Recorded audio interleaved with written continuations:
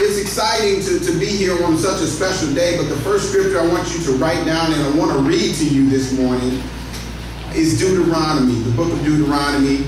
I want you to write this down. You don't need to go to this uh, scripture, just write it down. Deuteronomy 17 and 19. Because there's a purpose and a point that I'm making this morning. Uh, Deuteronomy 10, I'm sorry, 10 verse 17 through 19, it says this. It says, For the Lord your God is God of gods and Lord of lords. The great God, mighty and awesome, who shows no partiality and accepts no bribes. He defends the cause of the fatherless and the widow and loves the foreigner residing among you, giving them food and clothing. And you are to love those who are foreigners, for you yourselves were foreigners in Egypt. Can we turn that off? Can we turn that off right there? Yeah, for you yourselves are foreigners in uh, in Egypt. And what's that explaining? Is it's explaining the specific uh, requirements of God. He's saying to love foreigners, to, to, to, to, to treat them, to give them food and give them clothing. And so that's a specific, that's words of God, Him telling us to do those specific things. And so it's Father's Day. And I'm happy. Everybody happy it's Father's Day. I want you to give the fathers a round of applause this morning. Amen. And so it's Father's Day. Father's Day, so obviously I want to wish all the fathers success. I want to wish them a prosperous day. I want to wish them a prosperous day with their children, success with their children. The problem that I have, though, is what BKM is about. BKM is about helping others. Blessed Kingdom Ministries is about helping others. Uh, if somebody uh, uh, needs something, we want to give it to them. We want to take care of the people who are who are who don't have as much as we have. And so the problem that I have with this is because of some of the decisions of our government, and I don't typically speak about our government, but I must because they use the word of God. So I have to tell you the truth behind everything uh, because some of the some of the decisions of our government, there are some mothers and fathers who have been separated from their children. And I'm real concerned about that. So if you have any prayers that you're, you're, sending out to the Lord God Almighty, as a believer, your prayers are powerful we want you to pray for those, take all the prayers that you have for this church and pray for those mothers and fathers who are not with their children this morning. They have been separated from their children, so it, it wouldn't be right for me to know something is wrong and not say anything about it. That's what we do here. We tell you what's right and we tell you what's wrong, uh, you know, not caring what anybody else has to say about it because we're here to teach the Word of God to those who want to learn the Word of God. And the Word of God can be uncomfortable sometimes, but we need you to understand um, that when something is wrong, I'm not going to sit here and tell you everything is okay. And so after the quoting of the scripture that maybe you have heard on TV by a current uh, Attorney General, uh, Mrs. Sessions, who is a Sunday school teacher, from what I hear, it would only be right for me to correct when somebody misuses the scripture of God. Amen. So um, it's my duty as a pastor who's ordained by God. I'm not ordained by you. I'm not ordained by man. I'm ordained by God. And because I'm ordained by God, I have to properly instruct the sheep of God. I'm not going to have to answer to you when I go to heaven. I'm going to have to answer to my Lord and Savior. I'm going to have to answer to the Father. And so it's important that I make sure you understand the correct, the correct scripture. And I have to protect you when the wolves in sheep clothing attempt to lead you astray. It is my duty to tell you the scripture. It's your duty to listen to it and apply it to your lives. Can we get an amen this amen. morning? Amen. So everything that we are instructed to do is always in Christ, as Christ did. We are instructed to forgive, as Christ forgave. Sometimes you don't want to forgive. Has anybody ever experienced that? Where at the moment you say, man, I don't feel like forgiving right now. But then you get uh, accustomed to what the scripture says and you want to forgive because God forgave you. He forgave you of everything that you've done wrong. So you decide to say, well, you know what, I'm going to forgive because God forgive or forgave. And so you, you, you love in Christ. You honor in Christ. You respect because Christ tells you to respect. He tells you, you know, we work in Christ. When we go to our jobs, we go to our jobs not to perform for the people there, but to perform for our Lord and Savior. When Amen. we sing worship songs, we sing worship songs not to the person because of the person next to you, but because of the Lord and Savior, God Almighty, the one who was and is and is to come, who's right before you, looking to see if you're worried about everybody else or worried about Him who's in front of you. We, we give because of God. We don't give because, because people, just because people are in need. We give because the Lord says to give. Get to be cheerful when we do it. So we take care of people because we love God who took care of us. We help because, uh, because of Christ, and we bring up our children as Christ did. Do you see what the children of God did this morning, the skit that they did? Wasn't that awesome to hear from them and hear them, uh, you know, using the word of God and saying, my mom and my father would say this. Yeah. We worship. We get on our knees because of God. We worship not because of anybody else in front of us or around us. We worship because of God. We study the scripture because of Christ. We don't study the scripture and say, oh, it's just nice to know. We study it and say, Jesus Christ says to do this, therefore we're going to do that. And so we do all these things in Christ Jesus. Everything is in Christ Jesus. And so when we talk about the scripture that the, the Attorney General quoted, we want to make sure we do this in Christ. Is that okay? Can we say amen? Amen. So Romans 13 is the scripture that Mr. Sessions uh, misquoted. And, uh, you know, when I say misquote, I mean, you know, when you use something with the wrong context, uh, when you, um, you know, when you use something with the wrong purpose. It had a, a, specific purpose, but you use it for another purpose. And so this is what he used. This is what he said. And I want to make sure you understand it, not because I don't get involved in all the government stuff, but I do get involved when scripture is used. Amen? Yes. Because it's my duty to make sure that y'all understand the, the correction in the scripture. This is what he said. He said, I would cite you, the Paul, the Apostle Paul, and his clear and wise command in Romans 13 to obey the laws of the government because God has ordained the government for his purposes. That's what he said. And so let me first say, this is how the devil attempts to get all of us. He's not after everybody in the world who don't trust God. He's after you. He doesn't care about what anybody else says about this. He cares about you. He's after what you care about, what you say, because you are children who have accepted Jesus as your Lord and Savior. And so this is how he gets us. This is how he attempts to get us. He uses parts of the scripture to create a false interpretation. When you have a false interpretation, that's false scripture. And so it's your duty to make sure that you understand the scripture. When somebody uses the scripture, you don't just take it like they said it. If you don't understand it, you go and seek ye first the kingdom of God and his righteousness, and all those things will be added unto you. And so you seek that stuff. You have to seek it out. You have to seek if it's true. Uh, see if it's seek if it's truthful. You have to seek what it means, what it says, what the interpretation was at the moment when it happened, and you have to use it. Then you apply it to your life. You don't just take what any man who seems like a man of God says. Even if I say something that's not correct, you want to seek the scripture out for yourself to correct what I'm saying. And so I want you to write this down. God does not contradict himself. Mm. See, I wanted you to understand, first of all, that the devil does, that's what he attempts to do. He uses parts of Scripture to create a false interpretation with us. And those who are not studying, who are not studying the Scripture over and over again, reading the Scripture of God, understanding the Scripture of God, applying it to your life, you can be misled by those Scriptures that they use. The, the Scripture says the love of money is the root of all evil. What, what do people typically say? They typically say money is the root of all evil, and that's not correct. Anything that you put before God is the root to all evil. If you put your children before God, that's a root to evil. If you put your wife before God, that's a root to evil. If you put your girlfriend or boyfriend before God, that's a root to evil. If you put the money that you make from your job before God, that's a root to evil. Anything that you put before God is a root to evil. The reason he used money is because money is what gets our attention. Right. When we hear about money, it's like, oh, I can make more money if I work on Sundays. That's a route to evil. You get it? So,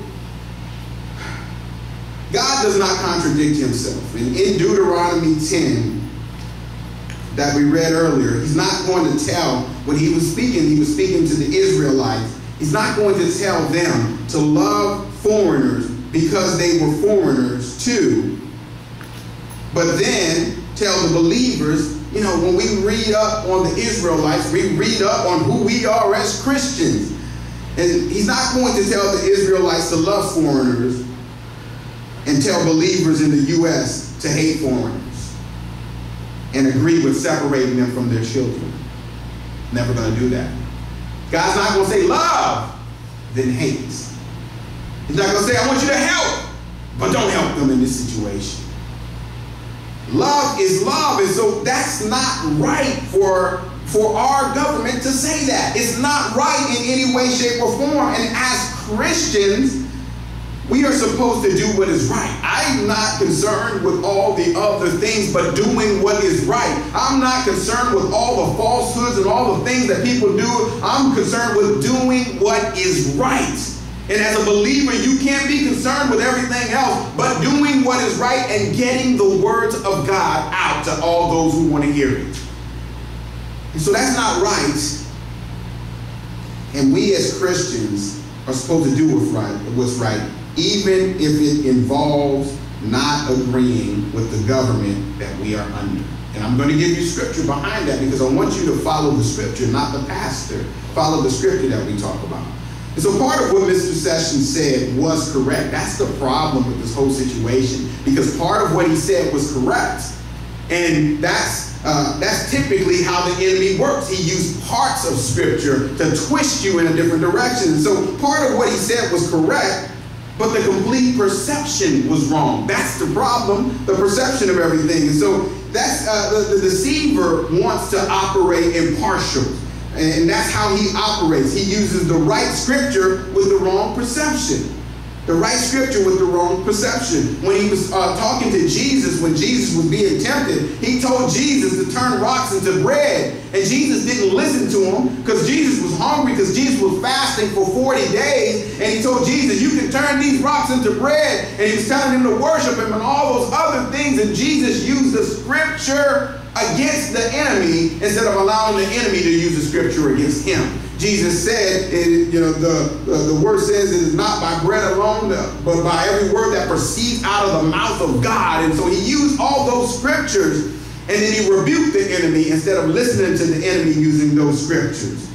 And so I want to study these script, the scripture that he's talking about in Romans 13 completely and correctly so that you can understand what the Apostle Paul was referring to and so that you can understand what Jesus truly wants us to do in this circumstance. Is that okay? Amen. Are you okay with the one with knowing what the Lord wants you to do in this circumstance? Because yeah. some people get confused and say, "Well, it does say that." No, no, no, no, no. You need to understand what it says completely and then apply it to your lives. Is that okay? Is that fair? Amen. If it's fair, say it's fair. It's fair. Amen.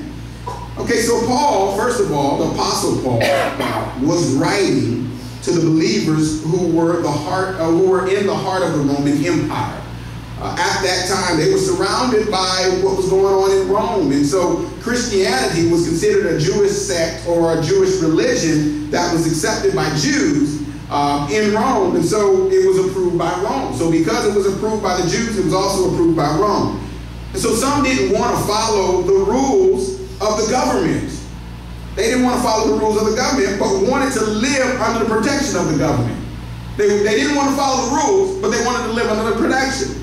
Now, that's wrong. You can't have both. And so it's like us saying, well, we're Christians. We're not going to live according to what the government says, but we're going to want to stay in America. Someone say, I can't stay in America, but won't go to another country. Uh, uh, can I get an amen this morning? Amen. You get you you you know, and so the importance of uh, uh, understanding this is how many of you understand you can't have them both. You can't say one and say the other. You have to have a direction for your lives. And so Jesus, one of the scriptures that Jesus um, spoke on, he asked uh, the, the, believers had asked him, should we pay the taxes to Caesar? They were trying, some people were trying to catch him and going in the wrong direction, so forth. So when he said, no, you don't have to pay the taxes to Caesar because you're a Christian, then they would be, find reason and find fault to killing him because he's not doing the right thing. And then the others were saying, the believers were, I mean, the others were saying, well, yeah, you should pay the tax to Caesar. And then if you pay the tax to Caesar, they're going to say, well, he's of the world. And they're going to go forward to trying to kill him anyways. And so Jesus, when they asked him, should we pay the taxes to Caesar? He said simple stuff. Render to Caesar what is Caesar's. What did he mean by that? He said, You eat his food. He didn't say this, but he, you know, think about it from this way. You're eating the food of Caesar's, you're living on the land of Caesar's, pay Caesar his taxes. And so it's saying if you're going to do that, if you're going to be in the land that that person owned and, and, and spend that money, you're going to pay that tax. So it, it made sense when he said that. So Romans 13, verses 1 through 5 is what we're going to read this morning. If you're ready, say, I'm ready. I'm ready. Amen. This is what he said. This is what the scripture says. It says, Let everyone be subject to the governing authorities, for there is no authority except that which God has established. The authority, the authorities that exist are established by God. Consequently, whoever rebels against authority is rebelling against what God has instituted and those who do so will bring judgment on themselves. themselves. Verse 3 is powerful. It says, For rulers hold no terror for those who do right, but for those who do wrong. That is a key scripture. For those who do right, but for those who do wrong. It says, Do you want to be free from the fear of the one in authority? Then do what is right, and you will be commended. For the one in authority is God's servant for your good. But if you do wrong, be afraid, for rulers do not bear the sword for no reason. They are God's servants, agents of wrath to bring punishment on the wrongdoer. Therefore, it is necessary to submit to authorities, not only because uh, of possible punishment, but also a matter of consciousness. Can you say amen? Amen. So we are to, if we sum that up, we are to obey the governing authorities. If they say don't speed, we're not supposed to speed. If they say follow this law, we're not. We're supposed to follow that law. If they say pay taxes, we're supposed to pay taxes. Everybody here pays taxes, right? You know, hopefully, uh, you know, you know, everybody does that right. Say amen, everybody. Amen. amen. Those who don't, don't say amen. Just, just, just say no. You're working on it. Work in progress. And so we obey the governing authorities, and they are supposed to be here for our good and treat us fairly. That's how it's supposed to be, right? They're supposed to treat us fair. They're supposed to take care of us. We are able to buy food. We are able to buy clothes. We are able to have shelter. We are able to work. We are able to do those things because of the governing authorities that that, that God says He put in place. But there's an important thing that you need to understand here even if we are not being treated fairly, it doesn't give believers the right to rebel against the government. Now, hold on, because I want to give you what does. It doesn't give you the right to rebel against the government. We are still to live up to our instructions because our instructions were from God, they weren't from man. So we are still to live up to our instructions, whether they uh, whether they live up to their instructions or not. Meaning they're supposed to treat us fair, they're supposed to treat us right. If they don't, we're still supposed to respect the government and and not rebel against the government. However, there is only the only time that we are given the right to disobey is when it conflicts with the instructions of God. Everybody understand that? See, we're supposed to be respectful. To, look, I pay my taxes because the scripture says to. I, I, I, do the things, right? I respect the government. I vote and do whatever I do because the scripture says I can do things like that. And so I do stuff like that. However, when it conflicts with the instructions that God gives us to love, to, to respect, to, to show, to, to feed, to give food and shelter and stuff like that, when it conflicts with the instructions that God has given us, that's when I have a problem as a man of God. In May, you know, April, May, Sessions announced a zero tolerance policy in which the Justice Department would begin prosecuting everyone who crosses the border. Everyone. Migrants traveling with children would be charged with a crime and then detained. Now, the children wouldn't be charged with a crime, however, they would be held separately. Now, this happened over the last few months. It didn't just, this was something that was that's controlled by our government. And the last time, the last number I checked, it was over 1,900 children that are separated from their parents today as we speak. Do, do, do you hear the passion in my voice? There's over 1,900 children. Imagine the children we have in here. Imagine your children being taken away from you. Do, do you, do, some of y'all turning back to the world. Some of y'all to, let's go get them. Calm down, family. I see y'all. I see Brother Dennis at the back. He ready to, he ready to go out. Let's go. Let's four words for life.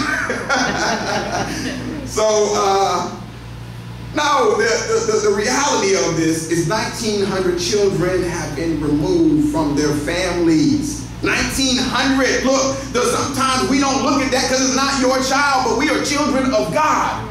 It can just be, it can be us as easily as it is somebody else. So 1,900 children are separated from their parents. You got infants to teenagers who are separated from their parents as we speak. We're here, we're going to enjoy some food today, enjoy fellowshipping with each other, but there are people who are living in tents and separated from their children and not knowing what's going to happen tomorrow. And so it's my duty to tell people about this. From infants to teenagers being taken, some were told, and I kid you not, some were told that they were be, they were taking the kids to be cleaned up, but the kids were not returned to their parents after that. Can you imagine your kid being told, you know, them telling you, hey, I'm gonna go, we're gonna go clean your kids up real quick, and then you're not seeing the kids again? Can you can, can y'all imagine what's going on here? And so one child was taken away from his or her mother while they were breastfeeding the child. Do, do you get what I'm saying this morning? There's some seriousness to this. And your prayers make a difference. So we need you to be praying for this situation to be resolved, for everybody to stop playing government and think the and have some moral respect for these, these children that are out here. And so I have to ask the question, is that anything close to what the Lord instructed, instructed the believers of Israel to do? He asked them to love, to feed and clothe the foreigners who reside with them. That's not right for us not to do that. It's not, look, you know, we act like we, you know, uh, uh, uh, we came here and this was our country and we were the ones who started this country and all this stuff. No, it doesn't work that way. This world was created by the Lord God Almighty. This is His world. We're His children. We respond to His instructions. And He's saying to respect everybody, love everybody. And yet we do these things. And on Father's Day, you got people missing uh, their children. And yet we're here able to fellowship and eat with each other and enjoy our families. So I want to give you some scriptures that, that tell about what we should do as children of God. I told you the only time we are given the right to disobey is when, the conf- uh, is when it conflicts with the instructions of God. In, I want you to write this down. In the third chapter of the book of Daniel, there are three believers in, in Shadrach, Meshach, and Abednego. Abednego. They refused to worship King Nebuchadnezzar's false god. They refused to worship it. Even if it led to death, they were willing to refuse it. Why? Because they respected God more than they respected the king. And so they refused to, to listen to worshiping King Nebuchadnezzar's false god. And so they were thrown into a burning fire. It was almost like a, bon, a humongous bonfire. And because uh, they trusted in the Lord, they did not die. They did not burn when they were put into that bonfire, into that fire. And so the key to understanding that, and I want you to read that on your own, is when the rules violated the rules given to them by God, they refused to obey what the government was saying at that moment. And so because Shadrach and Meshach and Abednego, they probably respected the government for everything else. But when it came to their Lord, their Savior, when it came to God Almighty, they weren't willing to bend on that. And we as family should not be willing to bend on what the Lord says. The Lord says to love.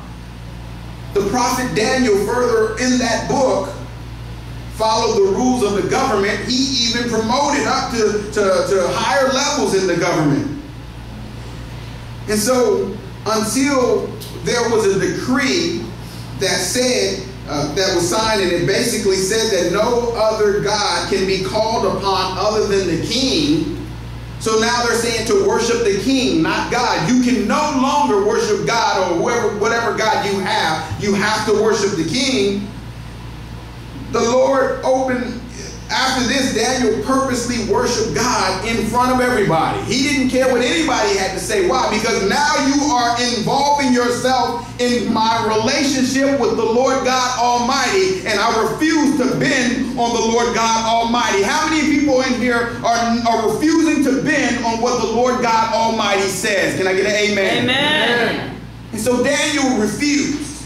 He purposely worshiped the Lord in the open and was thrown into the lion's den. He was thrown into the lion's den and he used the lions as a pillow because the God was with him. He didn't get eaten up by the lions, tore to pieces. He trusted God. He didn't, he was willing to die for his cause. It didn't care, he didn't care what they said about his worshiping, but he was not going to deny God his worship. And so the, the just of understanding this is when the rules violated the rules given to him by God he then disobeyed the government and was thrown into the lion's den. But God saved him from the lions. So, children of God, we have to understand that the holy word of God does instruct believers to obey the government. So that's what we want you to understand. It does instruct us to obey the government, but not at the jeopardy of disobeying God. So we are to obey the government, but when it comes in between what we are supposed to do as Christian men and women, we disobey the government. The, the, the, law of God says to love your neighbor. When the government says hate your neighbor, we will not do that. And so, agreeing with the detainment of parents running from rogue countries and separating them from their children is scripturally wrong and morally wrong. That's not what we've been taught. We've been taught to love. We've been taught to love because Jesus loved us. We've been taught to help our neighbors because Jesus helped us. And so it's not right to support the government if the government does wrong. It's right to support the government, but not in a decision that denies Christ. He's our Lord and Savior. He's the, he uses us as his vessel. We are the children of God, and as children of God, we are supposed to respect the words of God and honor God. And so it's a dangerous game that they play in leading some of the kids astray. Because some of those kids who are in those tents, some of those kids who are locked up and can't see their parents, may turn away from God because of what they experienced. They may go forward and say, man, there is no God. There's no way I can be in 100 degree weather and all this other stuff and away from my parents and, and coming to this America thing and away from my parents on Father's Day and experiencing all these challenges. There's gotta be, there's no God. And I wanna, uh, the government needs to be careful with what they're doing here. Because this is what the scripture says. I want to give you this scripture. Write down Matthew 18, Matthew 18, 6. Matthew 18, 6. We're going to write, I'm going to read 6 through 9. This is what it says. If anyone causes one of these little ones, those who believe in me, to stumble, it would be better for them to have a large millstone hung around their neck and to be drowned in the depths of the sea. Woe to the, to the world because of those uh, because of the things that cause people to stumble. Such things must come, but woe to the person through whom they come. Wow. If your hand or your foot causes you to stumble, cut it off and throw it away. It is better for you to enter life maimed, to enter life maimed or crippled than to have two hands or two feet and be thrown into the eternal fire. And if your eye causes you to stumble, gouge it out and throw it away. It is better for you to enter life with one eye than to have two eyes and be thrown into the fire of hell. Mm.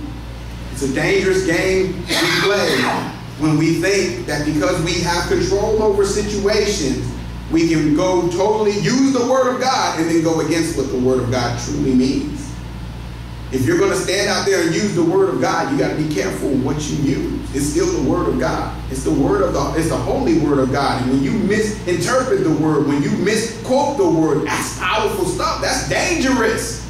And when you take children that are children that believe in God and trust in God and pray and, and, and trust in God and you, you, you do things to them to where they turn their backs because of what you've done, what does it say? If anyone causes these little ones to stumble, those who believe in me, it would be better for them to have a large milestone, millstone hung around their neck and drown in the depths of the sea. God is saying vengeance is his. And when you do things that are not of God and try to use God as your scapegoat, vengeance is his. And so not only would I pray for the children, but I pray for the government too. You want to pray for the government. You want to pray that God does not uh, does not seek vengeance on them, and you want to pray that God forgives those who do not know what they are saying, because it's dangerous. And the last time I checked, my God is all powerful. He's Amen. all knowing. Yes. He is the Alpha, the Omega, Amen. the beginning, the end, the first, the last. Everything begins and ends with him. He's in full control. He's at all places at all times, knowing everything that's happening. So he heard it just like we heard it. And if we're not careful, that can be destruction. In the Old Testament, People can be destroyed from the third and fourth generations. You mess up generations down the line, your children's children's children can pay for what you did to a man or woman of God. So it's careful. We got to be careful with what we say and what we approve of as children of God. Because God hears that. And we have to obey the government, but only in Christ. What Christ says, what Christ wants for us. And as children of God, we got to trust that. And so I'll end with this by letting you know that the scripture of God is important, but it's important that we understand it correctly.